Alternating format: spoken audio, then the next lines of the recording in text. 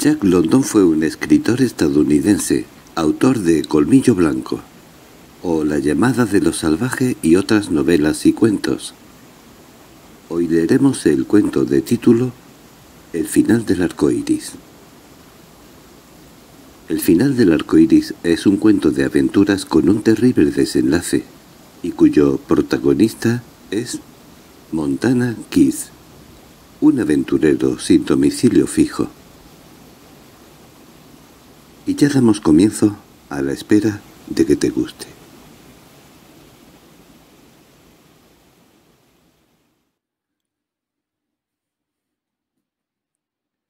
Al final del arco iris por Jack London Montana Keith se desembarazó de sus zaones y sus espuelas y se sacudió el polvo de las cordilleras de Idaho por dos motivos. En primer lugar, la intrusión de una civilización severamente ética sobria y formal había destruido el estado primitivo de los pastos para ganado del oeste y la sociedad refinada no veía con buenos ojos a los hombres como él.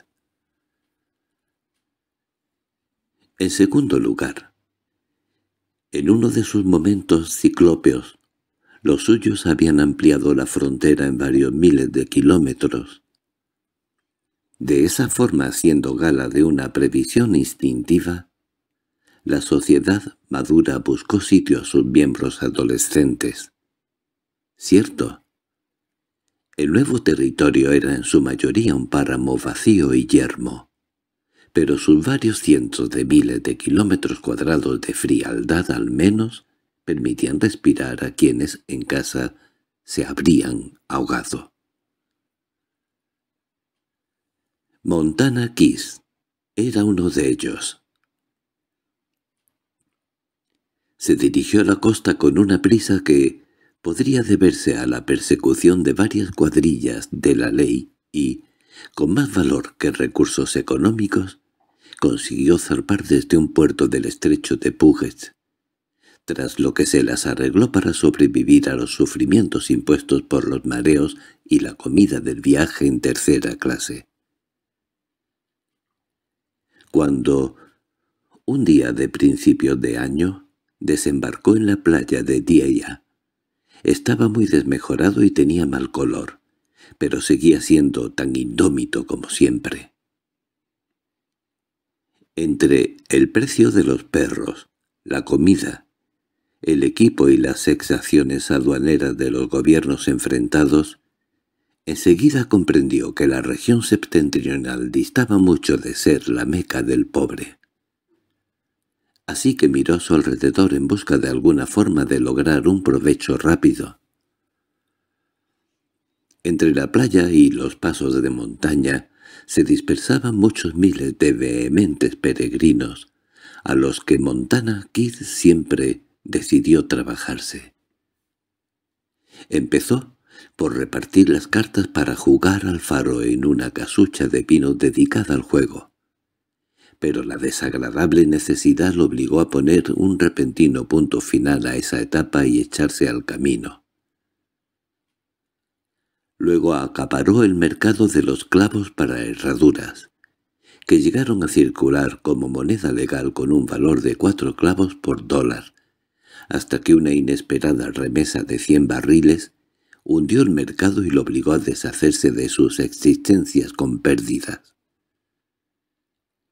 Después se instaló en Ship Camp. Organizó a los porteadores y en un solo día hizo aumentar el precio de la carga en veinte centavos. Como muestra de su gratitud, los porteadores empezaron a frecuentar sus garitos de faro y ruleta, donde con sumo gusto se veían privados de sus ganancias. Pero el negocio crecía tanto que no podía durar mucho tiempo, de manera que una noche arremetieron contra él, quemaron su casucha, se repartieron la banca y lo obligaron a echarse al camino con los bolsillos vacíos. La mala suerte lo acompañaba. Se comprometió con personas responsables para pasar por la frontera whisky de contrabando utilizando rutas desconocidas y peligrosas. Perdió a sus guías indios y la policía montada le confiscó la primera remesa. Un buen número de desgracias similares lo convirtieron en un hombre amargado y fuera de control. Por lo que celebró su llegada al lago Bennett aterrorizando el campamento durante veinte horas seguidas. Después, la asamblea de mineros se refiere a las asambleas que se celebraban en los campamentos mineros para resolver disputas, establecer leyes e imponer castigos, quedaron prohibidas al fundarse los tribunales federales y territoriales. Lo metió en cintura y le ordenó que se esfumara. Él sentía un gran respeto por dichas asambleas, y se dio tanta prisa en obedecer que, sin darse cuenta, desapareció guiando la traila de perros de otro hombre. En un clima más benigno aquello equivalía a robar caballos, por lo que solo se acercó a los lugares más alejados mientras cruzaba el lago Bennett y luego el Taquis y montó su primer campamento a más de 160 kilómetros al norte. Resultó que, como ya se acercaba la primavera, muchos de los ciudadanos más importantes de Dawson viajaban hacia el sur antes del deshielo. Se encontró y charló con ellos. Tomó nota de sus nombres y posesiones y continuó el camino. Tenía buena memoria, mucha imaginación y la veracidad no se encontraba entre sus virtudes. Dawson, siempre habido de noticias, contempló el trineo de Montana Kid acercarse al Yukon abajo salido del cielo a recibirlo. No, no traía periódicos, no sabía si ya habían colgado a Duran ni quién había ganado los Juegos de Acción de Gracias.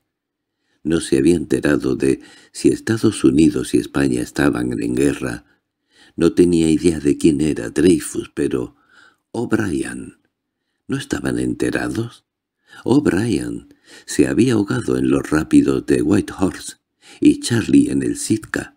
Era el único miembro del grupo que se había salvado. Joe Ladue las dos piernas congeladas y amputadas, en Five Fingers. Y Jack Dalton saltó por los aires en el Sea Lion con el resto del personal. Y Beatles, víctima del naufragio de Cartagena en el estrecho de Seymour, solo veinte supervivientes de trescientos. Bill Aguas Bravas se coló a través del hielo corrompido al lago del Barg, junto con seis mujeres integrantes de la compañía de baile a la que escoltaba. El gobernador Walsh, perdido con todos sus hombres y ocho trineos en el Trimille. ¿Deverux? ¿Quién era Deverux? Ah, el correo. Lo mataron los indios en el lago March. Y así continuó. Empezó a circular la noticia. Los hombres se habían paso empujones para preguntar por sus amigos y socios y luego eran empujados a su vez. Demasiado aturdidos para quejarse. Cuando Montana Keys llegó al banco, los rodearon varios cientos de mineros envueltos en pieles. Cuando pasó por delante del cuartel, ya era el centro de una procesión, en el salón de baile se habían convertido en el núcleo de una turba alborotada cuyos miembros se peleaban para tener la oportunidad de preguntar por algún compañero ausente. En todas partes lo invitaban a beber. Nunca antes el Condicay había abierto sus brazos a un checacuo de aquella manera. Todo Dawson murmuraba, Semejante serie de catástrofes no se había dado nunca en su historia. Todos los hombres destacados que habían bajado al sur en primavera ya no estaban. Habían desaparecido. Las cabañas vomitaban a sus ocupantes. Hombres de ojos desorbitados bajaban desde los arroyos y las gargantas para ver al sujeto que contaba semejantes desastres. La esposa medio rusa de Betles se acercó a la chimenea, inconsolable, meciendo su cuerpo hacia adelante y hacia atrás, mientras arrojaba las cenizas blancas sobre su cabello como ala de cuervo. La bandera del cuartel de la policía ondeaba triste a media asta. Dawson lloraba la muerte de los suyos. Es imposible saber por qué Montana Case hizo lo que hizo. Tampoco se puede aventurar una explicación, más allá de que en su interior no albergaba la verdad, pero durante cinco días enteros lo mantuvo a todos hundidos en el dolor y los lamentos, y durante cinco días fue el único hombre de Conde la región entera le ofreció su mejor alojamiento y comida. Los bares le otorgaron acceso gratis a sus barras. Los hombres lo buscaban sin descanso. Los funcionarios más importantes se doblegaban ante él para obtener más información y el capitán Constantín y sus hombres le ofrecieron un banquete en el cuartel. Hasta que un día, Deferux el correo del gobierno detuvo sus agotados perros delante de la oficina del comisario del oro. ¿Muerto? ¿Quién dijo eso? Que le diesen un filete de alce y ya verían lo muerto que estaba. Pero si el gobernador Wall se encontraba acampado en el Lite Salmon O'Brien, llegaría en cuanto se derritiese por completo el hielo. ¿Muerto? Que le diesen un filete de alce que ya verían. Dawson alzó el tono de sus murmullos. La bandera del cuartel recuperó su lugar en lo más alto del mástil y la mujer de Peter se lavó y se puso ropa limpia. La comunidad indicó con sutileza su deseo de que Montana Cais se borrase por completo del paisaje. Montana Cais, como siempre, desapareció guiando los perros de otro hombre. Dawson se alegró al verlo alejarse Yukon abajo y le deseó feliz viaje hasta el destino final del pecador insensible. Después, el dueño de los perros puso manos a la obra, presentó una queja ante Constantín y éste le prestó un policía para que lo acompañase. Con la idea de llegar hasta Circle City y el último hielo desmenuzándose bajo sus patines, Montana Caída aprovechó que los días eran más largos y amplió la jornada de viaje de sus perros. Además estaba seguro de que el dueño de los susodichos lo seguía, por lo que deseaba llegar a territorio norteamericano antes de que el río se deshelase. Pero la tarde del tercer día le dejó claro que había perdido la carrera con la primavera. El yucón rugía e intentaba liberarse de sus cadenas. Era necesario dar grandes rodeos porque el camino había empezado a deshacerse y caer sobre la veloz corriente que fluía por debajo, mientras que el hielo, ya imparable, retumbaba al romperse en grietas enormes.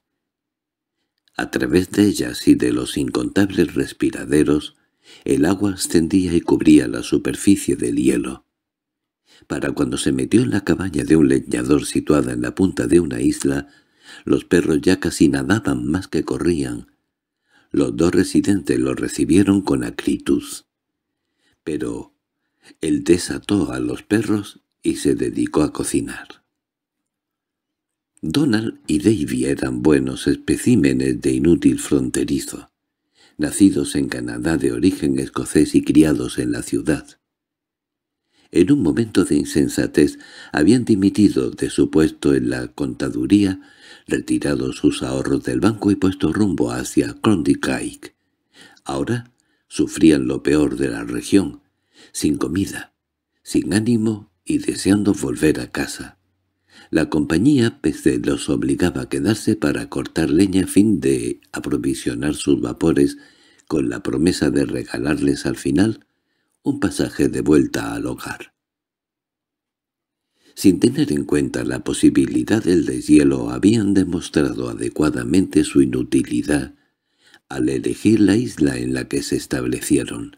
Montana, Cais, aunque poco sabía de cómo se fracturaba y descomponía un río tan grande, miró a su alrededor sin tenerlas todas consigo y observó con anhelo la lejana orilla donde los elevados riscos prometían inmunidad frente a todo el hielo de la región septentrional. Tras alimentar a los perros y comer él también, encendió la pipa y se fue a dar un paseo para hacerse una idea mejor de la situación. La isla, como todas sus hermanas del río, se elevaba más en la punta que daba al cauce alto, y allí era donde Donald y Davy habían construido su cabaña y apilado muchas cuerdas de leña.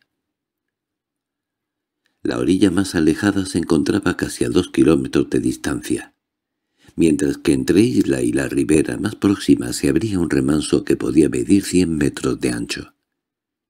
En cuanto lo vio, Montana Kite sintió la tentación de coger sus perros y huir a tierra firme, pero al observarlo mejor descubrió que una corriente rápida empezaba a inundarlo desde la zona alta.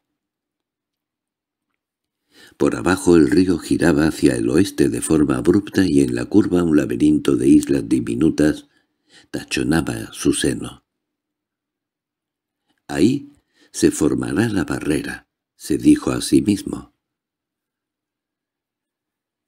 Media docena de trineos que evidentemente se dirigían curso arriba hacia Dawson atravesaban el agua helada salpicando en dirección a la cola de la isla.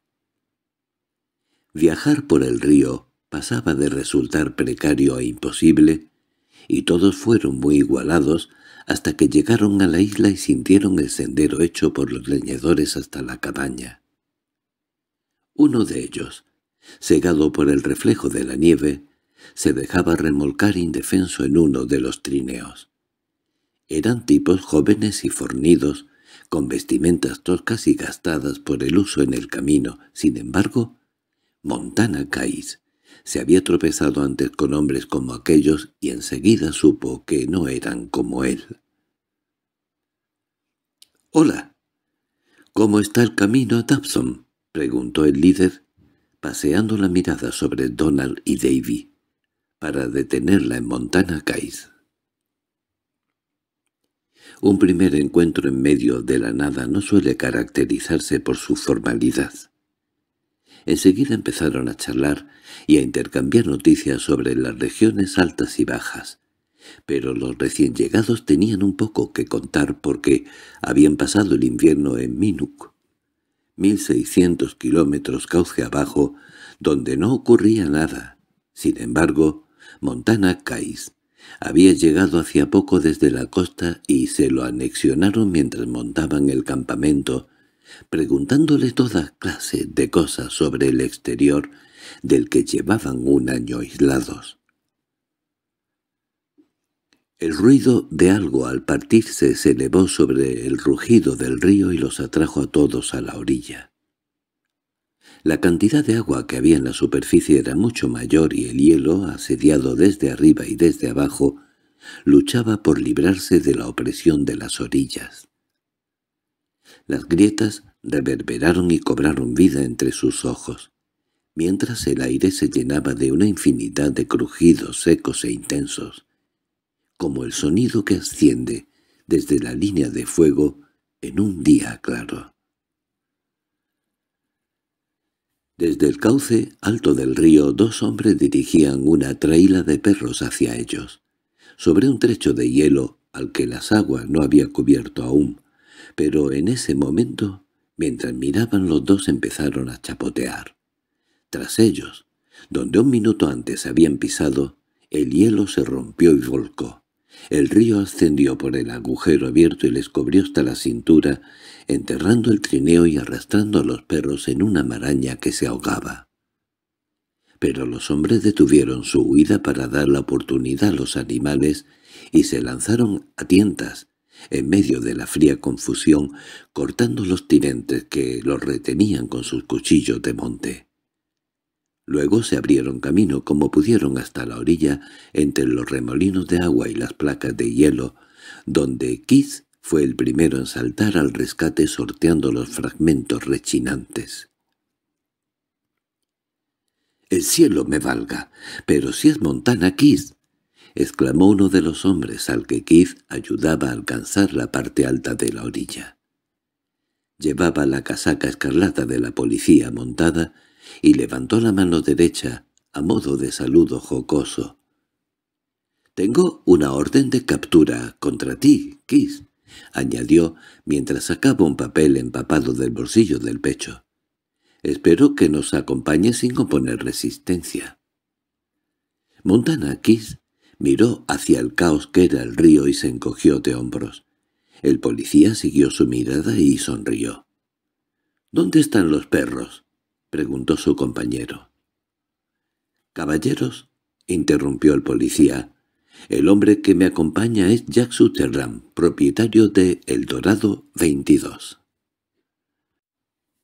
—¿No serás el Sutherland del 92? —interrumpió el hombre de Minuk, cegado por la nieve, mientras tanteaba sin fuerza en su dirección.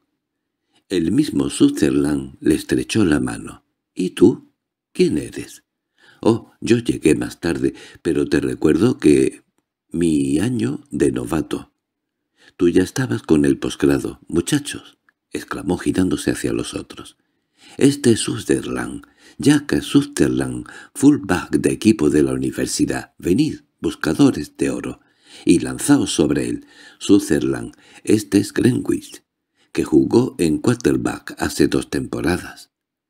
—Sí, leí la crónica del partido —dijo Sutherland mientras le estrechaba la mano y recuerdo la impresionante carrera que hiciste en el primer touchdown. Greenwich se puso colorado bajo el moreno de la piel y le costó dejar paso a otro. —Y este es Matthews, hombre de Berkeley. También tenemos ejemplares de primera llegados del este. Venid aquí los de los Princeton, vamos, este es Sutherland, Jack Sutherland. Entre todos los rodearon. Se lo llevaron al campamento y le proporcionaron ropa seca y varias tazas de té negro. Donald y Davy, al ver que nadie les hacía caso, se habían retirado a jugar a las cartas como todas las noches. Montana Keith siguió sus pasos junto con el policía. «Tenga, póngase algo seco», le dijo, sacando la ropa de su exiguo equipo. Creo que también le va a tocar dormir conmigo. —Te lo agradezco —dijo el policía mientras se ponía los calcetines del otro. —Siento tener que llevarte de vuelta a Dobson, pero espero que no sean muy estrictos contigo. —No se dé tanta prisa. Sonreía de una forma extraña. —Aún no estamos en camino. Cuando me marche lo haré río abajo y me parece que es muy probable que usted venga conmigo. No. Si no me equivoco de... Acompáñeme fuera y se lo explicaré. Estos inútiles, dijo mientras señalaba a los dos escoceses por encima del hombro, metieron la pata hasta el fondo al establecerse aquí. Pero antes llene su pipa, que no está de nada mal este tabaco y disfrute mientras pueda. No le quedan por delante muchas oportunidades de fumar.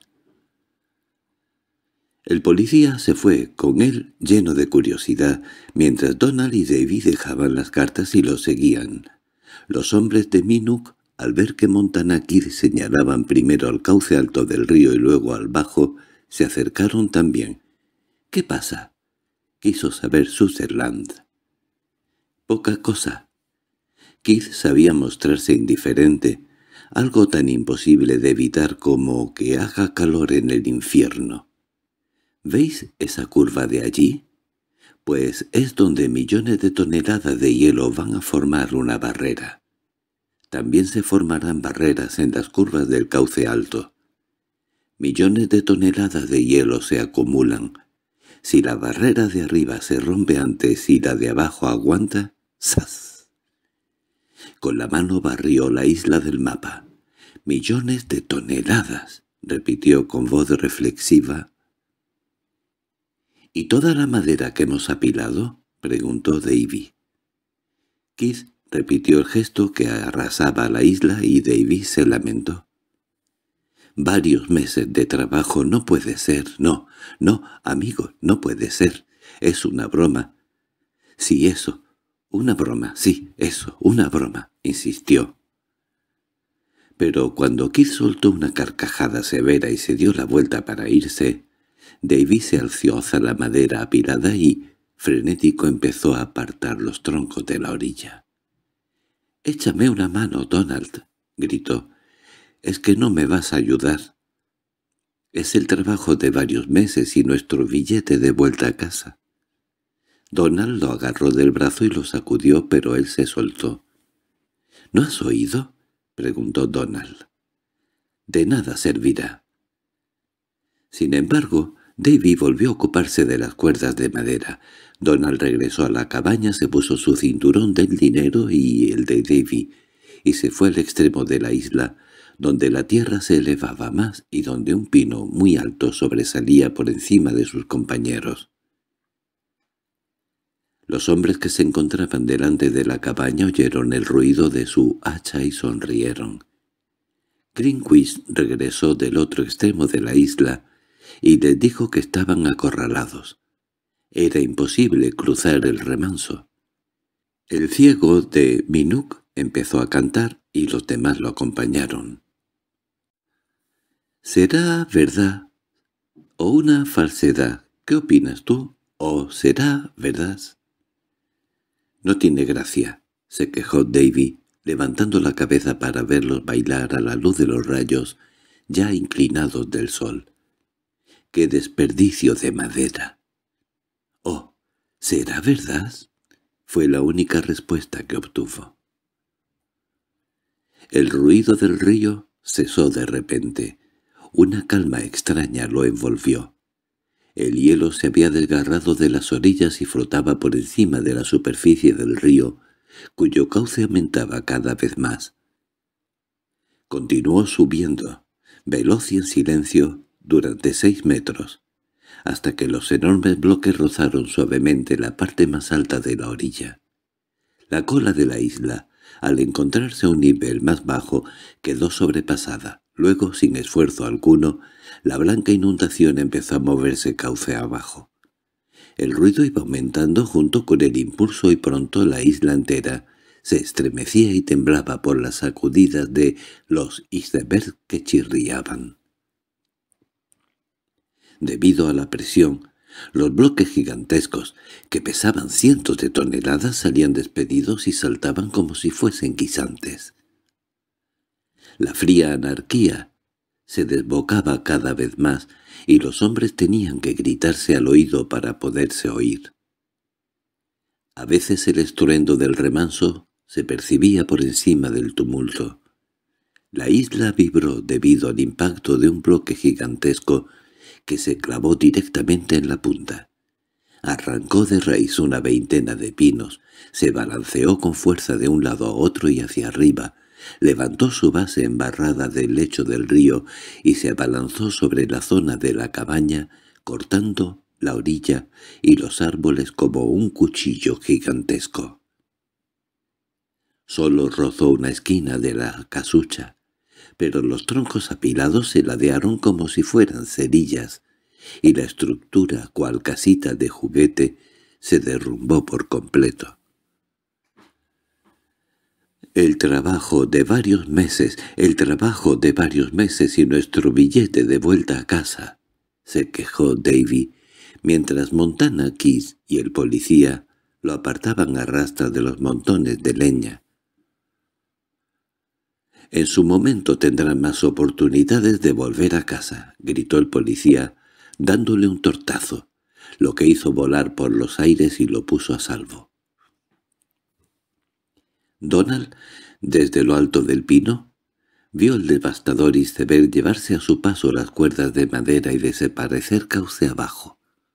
Como si el daño hecho le hubiese bastado, la riada de hielo recuperó su nivel anterior y empezó a aflojar el paso. El ruido también disminuyó, y los otros pudieron oír a Donald gritar desde su nido de águila para que mirasen río abajo.